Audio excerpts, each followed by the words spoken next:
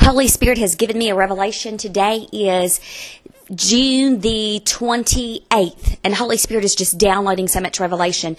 I've seen increased attacks of the enemy only in order that we be transformed more into the image of Christ Jesus. Because remember, every assignment of the enemy is allowed by God Almighty in order that we would rise up into the righteousness of Christ Jesus, which He has already finished at the cross. The work has already been done at the cross.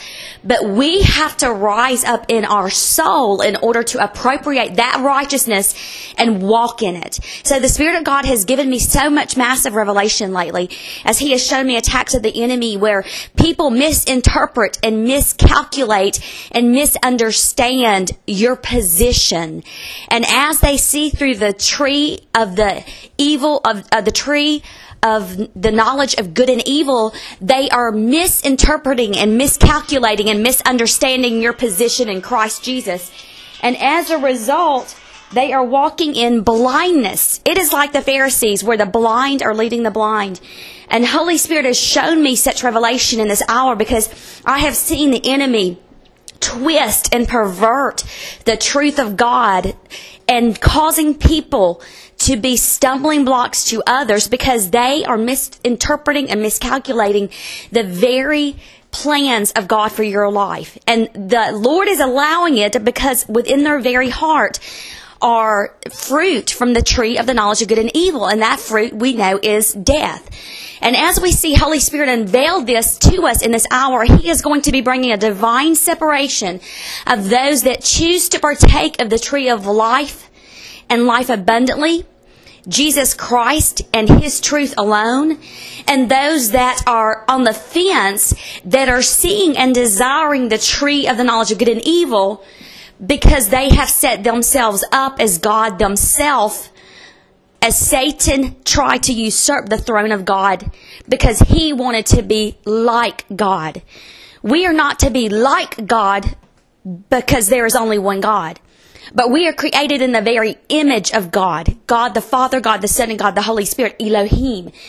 And the Holy Spirit showed me in this hour that man has put ceilings on you that the enemy has put ceilings on you, but that God Almighty is breaking those ceilings off of you in this hour because you will no longer be restrained or contained by the confines of man's purposes, man's calculations, and of the enemy's plans and attacks. So the Holy Spirit wants me to decree and declare over you in the power of His Word and truth of the very Word of God that in the name of Jesus Christ, no weapon formed against you shall prosper. And every tongue that rises up in judgment against you, I declare, Holy Spirit in you will already prove it to be in the wrong. I declare that they may gather against you, but those that gather against you are not gathering of the Lord. I declare you send forth the Spirit of the Lord and the Spirit of the fear of the Lord to those that are eating of the tree of the knowledge of good and evil and speaking lies and slander and gossip about your anointed ones, God, and that you cause a holy repentance by Holy Spirit to come upon them in Jesus' name. God, I declare your word of truth, God, that there is a new dimension of glory that your people are entering into. That the ceilings that have been placed over us are totally cut asunder. I take the sword of the Spirit and I cut asunder those ceilings in the mighty name of Jesus. And I declare the miscalculations, the misinterpretations, and misunderstandings of man from the evil in their own heart is not going to allow the curses to come upon you. And I take the sword of the Spirit and I cut off every curse that has been spoken over you from the very pit of hell.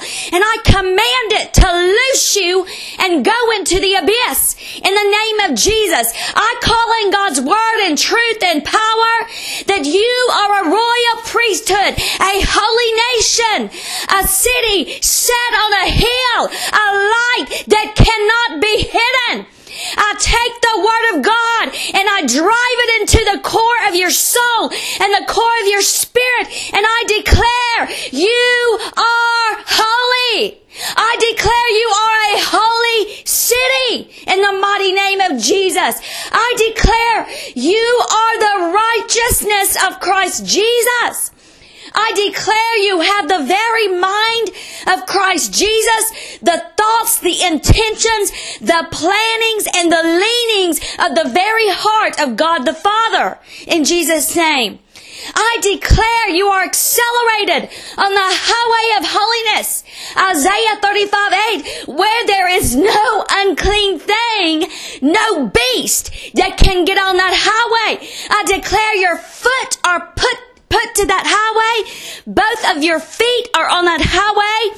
And I declare you walk in acceleration by Holy Spirit on the highway of holiness.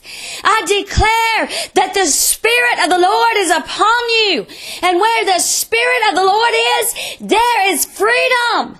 I declare that you have, with an unveiled face in this hour, had removed from you another veil that God's Word has broken asunder off of you and that you are looking into the very mirror to the image and reflection of Jesus Christ Himself. And that you are being transformed into that image in this hour from glory to glory. I declare that God in this hour desires to show you the very things that have been fenced in and hidden, great mysteries of the knowledge of God Almighty. And I declare you are in that fenced in and kept place in the shadow of God Almighty and that He has given you the spirit of wisdom and knowledge to see Him and opened up the eyes of your understanding to flood it with the light of Christ Jesus, to know Him and to know the inheritance He has for all the saints. The very resurrection power that He wrought in Christ Jesus when He raised Him from the dead. I call in resurrection power into your soul, into your spirit. I command your spirit Rise up from that place of depression and prostration in which circumstances have kept you. Rise up to a new light. Shine, be radiant, for your light has come and the glory of God has risen upon you. And God will bring nations to the brightness of your rising.